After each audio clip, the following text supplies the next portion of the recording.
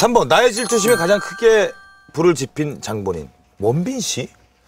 네, 원빈 씨랑 이제 지드래곤 씨인데요. 저희 와이프가 두 분의 팬이에요. 굉장히 큰 팬인데. 켜놓으셨더라고요. 네, 근데 제가 개인적으로 이제 질투심에 가장 불을 피우신 분은 원빈 씨도 물론 그렇지만 네. 지드래곤 씨가 조금 더 네. 저는 인터넷에 그 공연장에 가가지고 네, 너무 와이프가? 팬이어서 예, 티켓을 제가 구해줘서 아 또 그 대행사 어, 역할을 가서. 하시고. 네, 네, 네, 네. 같이 안 가시고 아 저는 그날 무슨 일이 있었어요. 음. 그래서 못 가고 일이 없어도 못 가죠.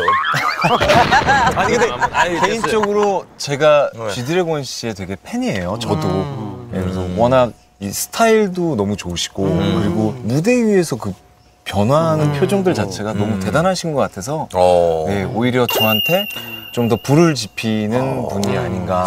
그래서 그렇다면은 김수현 씨, 송승헌 씨는 탈락입니까? 질문 자체가 어. 가장 크게 불을 아. 지핀 장본인이기 때문에 예. 네.